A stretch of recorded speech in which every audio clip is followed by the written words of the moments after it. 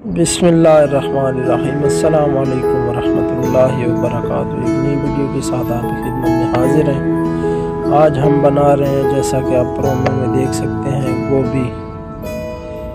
वैसे आलू गोभी बनती है, लेकिन आज हम सेपरेट बस गोभी बनाएँगे। इसकी रेसिपी आपके साथ शेयर की जाएगी।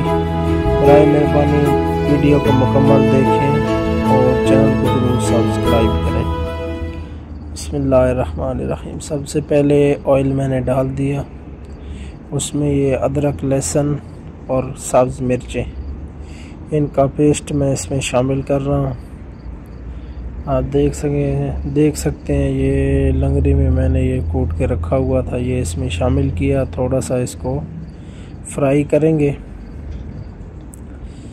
बस एक डेढ़ मिनट फ्राई करने के बाद ताकि ये जले ना इतना बस इसको थोड़ा सा फ्राई करना है।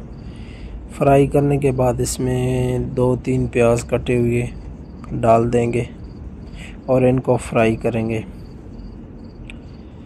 ये जी माशाल्लाह, हम इसको हिला लेंगे अच्छी तरह। हिलाने के बाद आप इस पर कवर देकर थोड़ी देर इसको छोड़ दें ताकि प्याज मुकम्मल तौर पर गल जाएँ।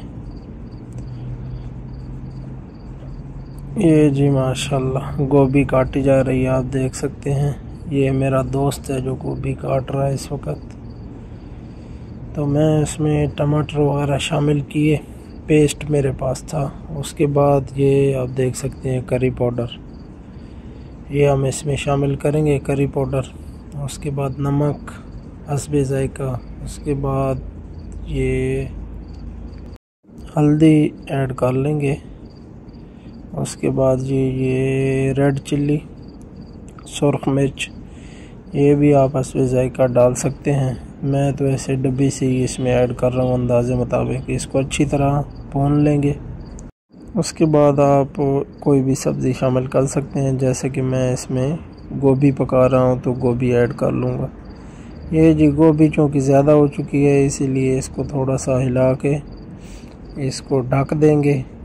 तकरीबन आधे घंटा पैंतीस मिनट के बाद ये आपके सामने तैयार हो कर आ जाएगी। ये हमने जी ढक कर छोड़ दी। तो ये हमारी गोभी अभी आप देख सकते हैं। ये जी माशाल्लाह फाइनल लुक हो चुकी है इसकी। चैनल ज़रूर सब्सक्राइब करें। अल्लाह हाफिज़ नासिर।